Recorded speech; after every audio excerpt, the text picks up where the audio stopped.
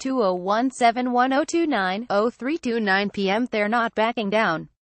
Days after it was revealed that Houston Texans owner Bob McNair said NFL owners can't have the inmates running the prison, his players showed him exactly how they feel about being referenced as criminals before their game Sunday. Even though McNair sent out two statements of apology, some of his players reportedly had to be talked out of boycotting practice on Friday. Instead, the vast majority of the team took a knee during the anthem before its game versus the Seattle Seahawks. Texans players are on the sideline getting ready for the national anthem. I expect some to kneel. That would be the first time, John McClain at McClain underscore on. NFL October 29, 2017 Some was an understatement. Texans sideline in Seattle. Pic.twitter.com Cogmeware, Greg Bishop at Greg Bishop See October 29, 2017 counted maybe 10 Texans who stood for the anthem. Entire sideline was mostly kneeling.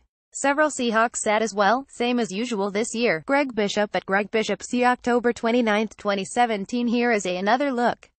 All of the Texans kneelers together. Some on the bench sitting, some standing.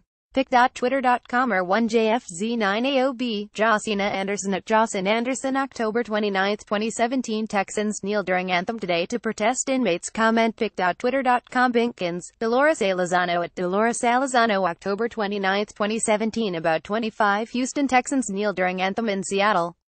Michael Bennett, eight other Seahawks defensive linemen sit again.